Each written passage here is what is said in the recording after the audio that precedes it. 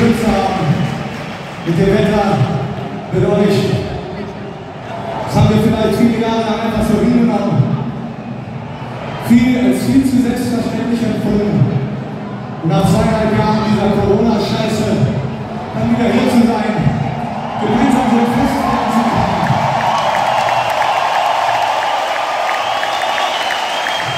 Also Hintergrund natürlich zu haben, dass dieser Krieg, eskaliert ist, jederzeit noch viel, viel schlimmer werden kann. Und man will oder nicht, plötzlich ein AKW getroffen wird oder sonst was. Und wir vielleicht nächste Woche schon gar nicht mehr hier sein können. Da fühlt man sich manchmal ohnmächtig.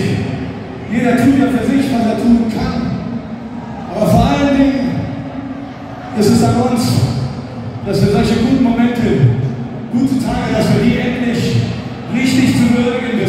wissen wieder, dass